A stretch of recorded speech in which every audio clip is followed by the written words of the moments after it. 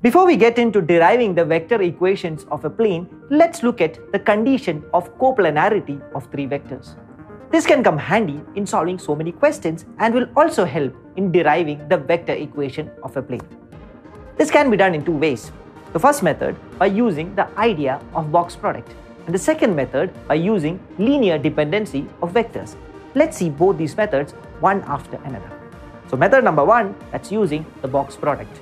We learned in the properties of box product that a box product represents the volume of a parallelepiped formed by three vectors. What will be the shape of the parallelepiped if all the three vectors were on the same plane? Will it form a parallelepiped anymore?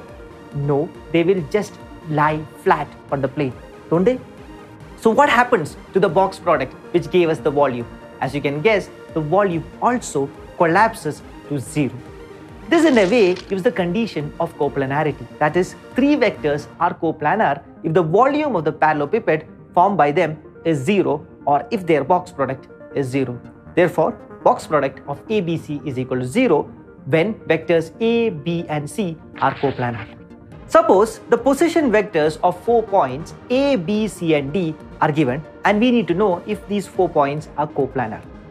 First thing is to form the vectors AB, AC and AD and then apply the condition of box product that is the box product of three vectors should be equal to 0. So let's look at the method number 2 that is by using the linear dependency of vectors.